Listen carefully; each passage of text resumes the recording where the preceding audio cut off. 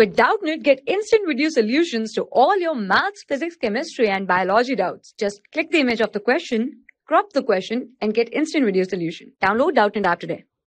Hello students, so let's read the question. Select the odd one with respect to organism and its corresponding respiratory organ or structure. Okay, so they have given different organism and the respiratory structure or organ and we have to tell which one is the odd one out. Okay, so when we talk about earthworm, we know that earthworm is a very important organism and it belongs to this phylum Annelida and the respiratory surface is it bears is basically the most simple respiratory thing.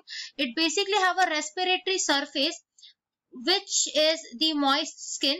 So through the moist skin the earthworm basically respires. So this that is earthworm respires to nephridia is absolutely wrong. So this can be the odd one out Let's move on to the second one that is cockroach. So cockroach is an arthropod. Basically, it's an insect. And most of the insect basically have a system of tubes which is known as the tracheal system or a tracheal tube system. And this tracheal tube system helps in the process of respiration in cockroaches and in other insects. So this is the correct match. Can't be a correct option. The next one is sponges.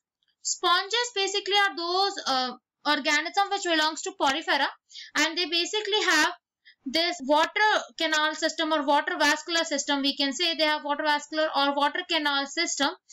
This water vascular water canal system basically helps in exchange of gases or we can say exchange of gases or in the respiratory or in the process of respiration okay? And these sponges basically have ostia on their body surface and also have osculum which together help in the process of exchange of gases and they are present on the body surface.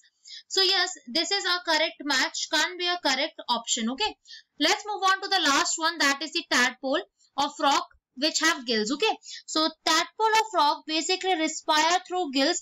They do not have lungs. So this is also a correct match. So out of the all of them. The only which is not a correct match or the odd one out is option A, Earthworm nephridia. I hope this answers your question, students. Thank you. For class 6 to 12, IIT JEE and NEET level. Trusted by more than 5 crore students. Download Doubtnut app today.